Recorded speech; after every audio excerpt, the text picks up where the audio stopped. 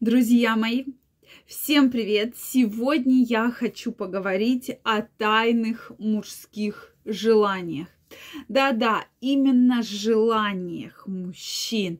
О чем же мужчины тайно в секрете мечтают? Давайте сегодня разбираться.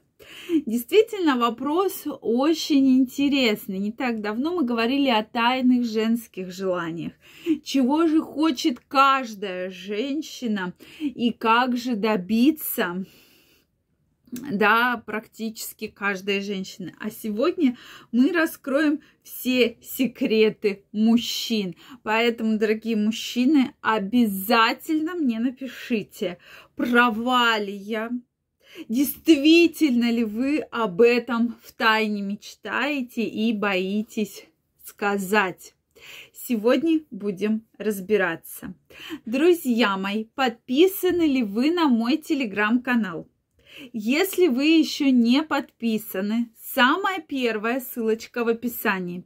Переходите, подписывайтесь, и мы с вами будем чаще встречаться и общаться в своем телеграме я опубликую ежедневно самые интересные статьи, видео и фото.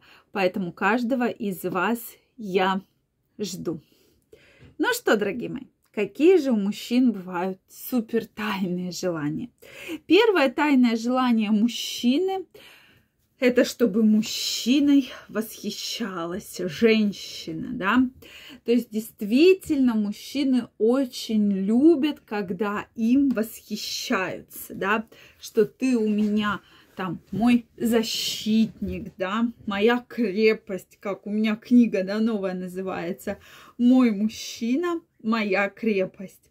Не просто же так придумано название, да, друзья мои, то есть это как раз э, я говорю про то, что действительно для мужчины это очень важно. Показывать его значимость, восхищаться его поступками и так далее. То есть это такие аспекты, на которые мы должны с вами обращать внимание. Да? Второе – это благодарность. Тоже такой очень яркий аспект, но мужчины любят, когда вот к ним женщина испытывает это чувство благодарности.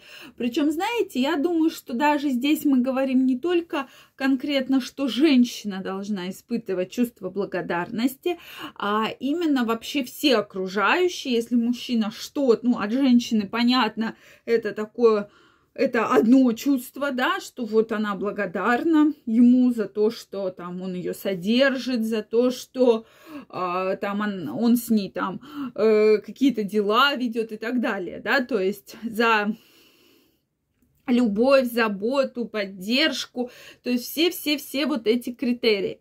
Если же мы говорим про окружающих, то для мужчины важно, на мой взгляд, да, чтобы к нему относились чувством благодарности, да, его сотрудники, его там начальство, его родители, его друзья. А когда, соответственно, этого чувства благодарности нет, то, на мой взгляд, отношения э, клеиться не будут, да, абсолютно ни с кем. Ни с женщиной, ни с родителями, ни с друзьями, ни с подчиненными, ни с начальниками, да. Потому что это чувство, оно такое одно из самых важных и основополагающих у мужчины. Поэтому это действительно для него очень важно.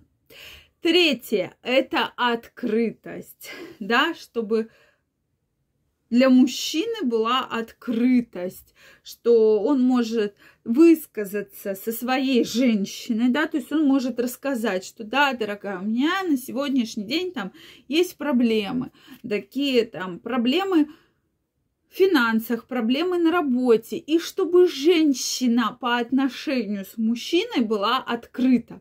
То есть для многих мужчин это действительно такой очень основополагающий фактор, да, то есть фактор открытости. Также, мне кажется, то есть мы, конечно, с вами в первую очередь говорим по отношению к женщине, да, эти все чувства женщине по отношению к мужчине, но на мой взгляд, здесь мы можем также сказать и про отношения, опять же, с коллективом на работе, с друзьями, с родителями, да, вот это чувство открытости, оно очень-очень важно для многих мужчин, прямо очень важно. Но мужчины об этом стараются особо не говорить, поэтому мы с вами про это чувство открытости помним, но, да, соответственно, э акцент на нем особо не делаем. То есть вот как говорить, что я перед тобой как открытая книга, конечно же, не надо. Но уметь выслушать, уметь э, поддержать, да, в трудный момент, это, конечно же, должно быть в отношениях. И, конечно же, свобода. Это такое качество, которое очень важное, причем по отношению э, к разным сферам жизни – да, то есть э, действительно это очень ценно. И как раз многие мужчины про это очень часто говорят.